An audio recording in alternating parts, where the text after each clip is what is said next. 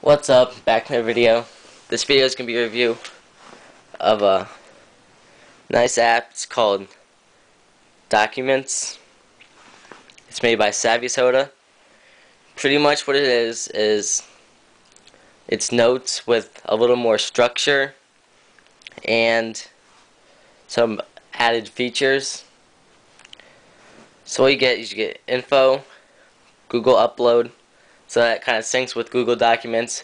So you're pretty much putting it on your computer, which is a really nice feature. Then you get your folders, and then you get new folder, new document. So inside this folder, you can see my more documents, another folder. And you press those little dots to get back. Um, so we'll go to, well first, you get these little arrows, blue arrows, and you can save, Google Upload, emails attachment, move or cancel.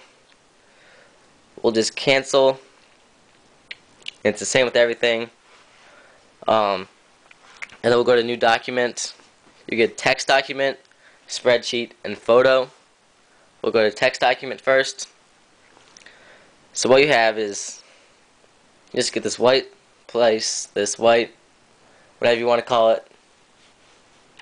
Um, so if you press it, you get a keyboard. That keyboard can be um, portrait or landscape, and you can get typing pretty fast. Hello, wasn't it? But okay, we'll just in the file save, save as, discard or cancel. We'll just discard this one. A new document, you get spreadsheet. So it's just like in Microsoft Excel.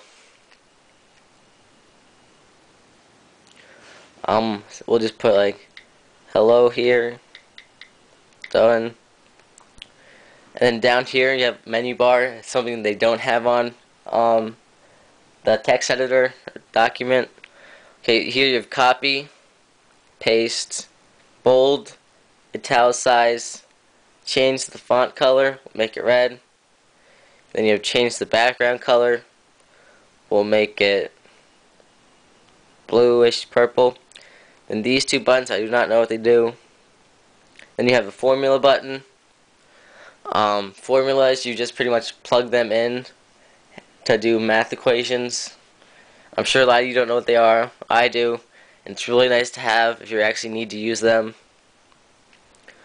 So once again, file, save, save as discard or cancel, discard again.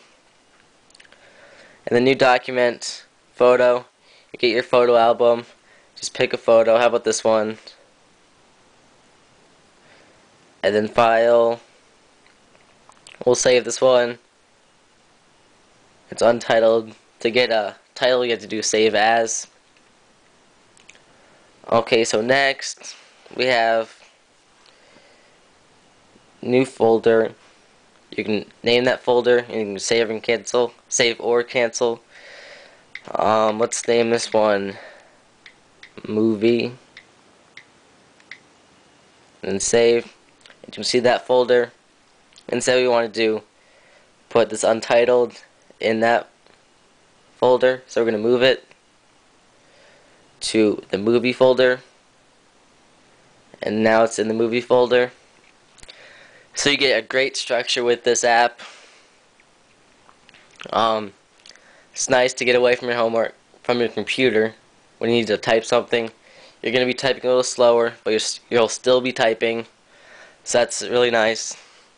And then the Google Upload goes with Google Docs. I don't know if many of you know what that is, but it does work well. It's a great feature. So that's pretty much what this is. You get typing, spreadsheets, photos, you can upload it all to your computer. your folders and stuff. Well, it's it's $4.99, but don't let that scare you because in the App Store they have different apps. It's all like a portion of this one. Like here's Documents. Um, it's $4.99. But here's Text Editor. It's just a portion of the documents. It's only dollar. Here's Documents free. Here is iSpreadsheet free. Here's iSpreadsheet.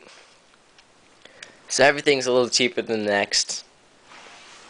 Everything is a little cheaper than the documents, the whole thing. But it is nice if you want something, just type on a maybe a road trip. It's definitely worth getting if you want to use this for a long time. If you're just going to type a couple sentences, maybe you might want to email to yourself through notes. But I, st I still would recommend this app. I really like it. Um, and the Google Sync with Docs is really nice. You'll really use that a lot if you get this app. Um, so that's all I have, so thanks for watching.